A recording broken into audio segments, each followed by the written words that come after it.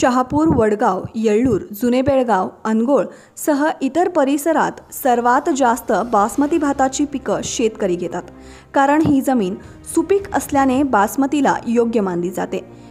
त्यानंतर इतर भात पिकं घेतली जातात. पण बासमतीला जर पोषक वातावरण असेल तर पीक जोमात येतातच. मागच्या पावसाने दोन वेळा पेरणी केली तिसऱ्यांदा भात लावणी केल्यानंतर काही प्रमाणात शेतकऱ्यांना पीक मिळण्याची शक्यता आहे. अजूनही पावसाचा अंदाज असल्याने शेतकरी भात कापणी करण्यास भीत आहेत. कारण कापणी केल्यानंतर एक तास जरी मोठा पाऊस पडला की पाणीच पाणी होऊन पीक पाण्याखाली जातात आणि ती नष्ट होतात. शेतकऱ्यांना एक अयास आहे की बाळेकुंद्री पंत महाराजांच्या यात्रेत नक्कीच पाऊस होतो आणि मागच्या वर्षी तसा झालाही आहे. म्हणून शेतकरी यात्रा संपेस्तोवर थांबून हाल हवाला पाहून कापणीला सुरुवात होते.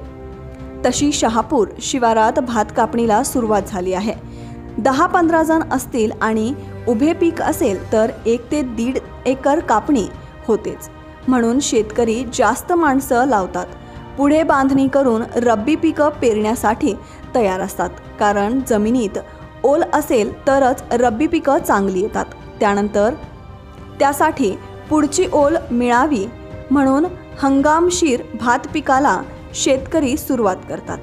आणि अशा तिबार पीक सुपीक जमिनीतील अल्पभूधारक शेतकऱ्यांच्या सुपीक जमिनीतून बेकायदेशीर हलगामच्छे बायपास करणाऱ्या शासनाला शेतकऱ्यांना कायमचं संपवण्याचं षडयंत्र आहे का असा प्रश्न उपस्थित झाला आहे. तर मग आपल्या देशाला कृषीप्रधान म्हणून डंगोरा पिटण्याचा काय अर्थ आहे असा प्रश्न तेथील शेतकऱ्यांनी केला आहे. माझं नाव मीना महादेव पाटील.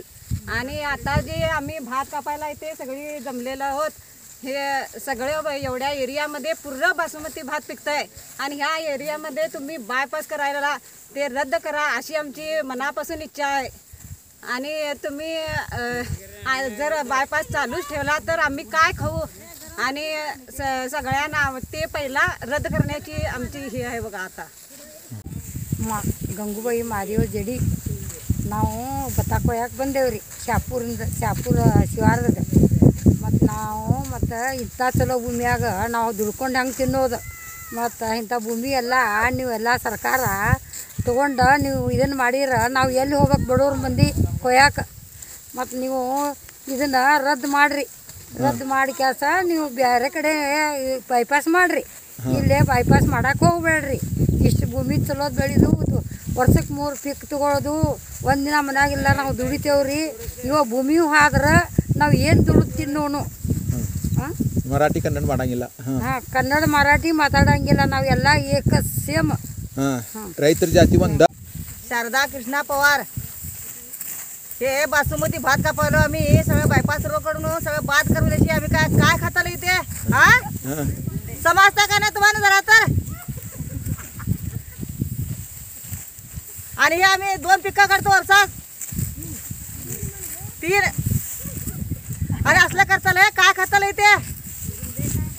गुंडे खाताल हे आम्ही? त्याचप्रमाणे हलगा परिसरात भात कापणीला सुरुवात झाली असून वातावरण चांगले असल्याने शिवारातील भात कापणी एकदम आल्याने भात कापणी मजुरांची समस्याही निर्माण झाली आहे. Mahadev Pawar K N N City News Belgaum.